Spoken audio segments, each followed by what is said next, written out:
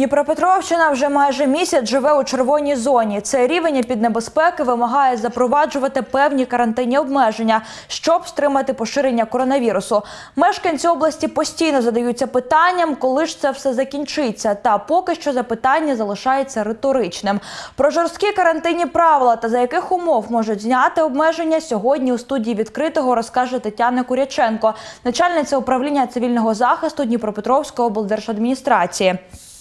Тетяна Миколаївна, вітаю у студії відкритого. І перше питання: Дніпропетровщина у червоній зоні. Розкажіть, з якою регулярністю збирається обласна комісія з техногенно-екологічної безпеки та надзвичайних ситуацій для запровадження обмежень?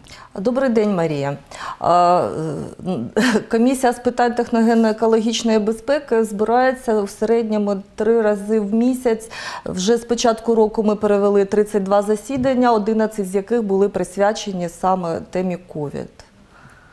Які причини для зібрання комісії? Напевно, зростання показників захворюваності на ковід?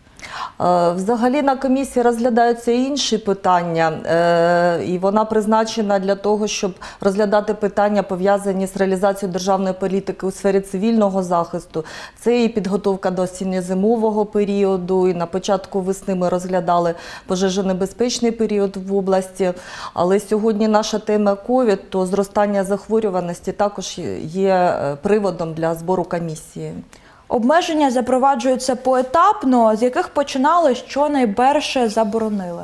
Введення тих чи інших карантинних обмежень е, залежить від рівня епідемічної ситуації. Рівень епідемічної ситуації встановлюється Державною комісією з питань техногенно-екологічної безпеки та відповідно до постанови вводяться на територію області. Найнижчий рівень епідемічної небезпеки це був зелений рівень, е, і е, ті карантинні обмеження були самі м'які з усіх. Це перебування в громадських місцях без масок було заборонено і є зараз знаходження на вулицях без документів, що посвідчують особу, перевезення пасажирів у транспорті Е, була заборона і вона залишається.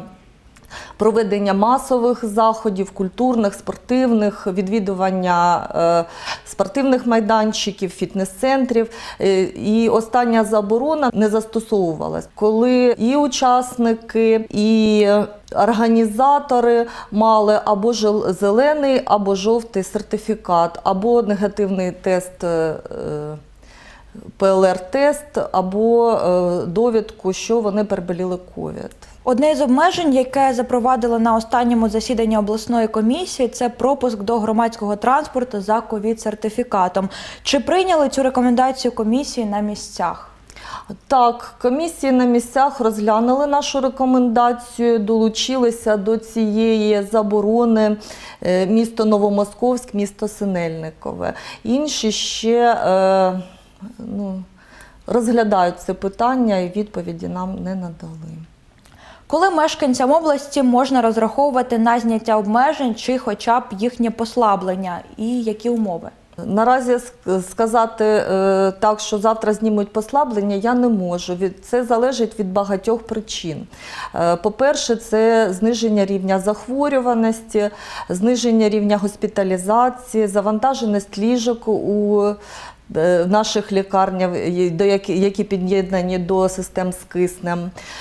Але я вважаю, що саме найкоротший шлях до зняття цих обмежень є вакцинація та дотримання карантинних обмежень, а також здійснення профілактичних заходів. Е, Саме просте провакцинуватися, е, дотримуватися маскового режиму, дистанції, просто мити руки все це збереже наше життя. Дякую, що завітали до студії відкритого. Сьогодні у нас у гостях була Тетяна Куряченко, начальниця обласного управління цивільного захисту. Говорили про карантинні обмеження, продиктовані напруженою підситуацією та за яких умов їх можуть зняти на Дніпропетровщині.